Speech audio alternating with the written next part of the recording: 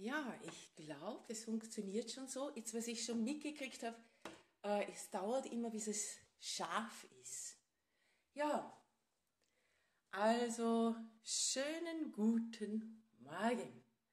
Äh, ich habe mir vorgenommen, ich mache eine äh, Live-Video-Challenge, zwölf Tage lang, über das Thema, wie bringst du deine Beziehung zum Blühen? Die Frage ist jetzt, warum, wie komme ich auf diese Idee?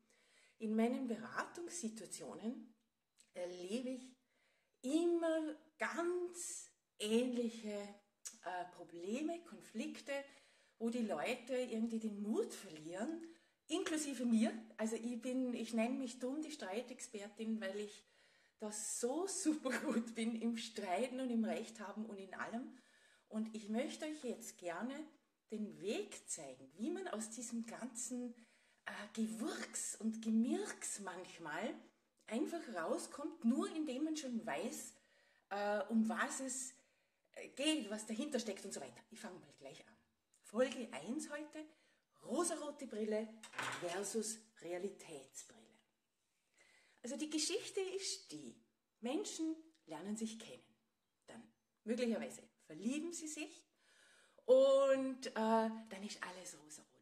Es ist der schönste Mensch, der netteste, der einfühlsamste. Es ist einfach alles genial, super, wunderbar.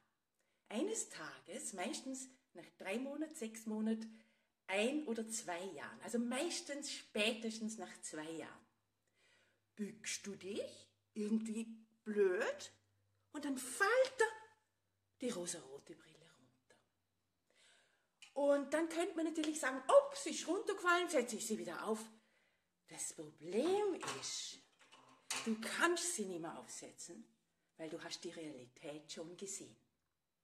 Und jetzt nehmen wir mal das als die Realitätsbrille.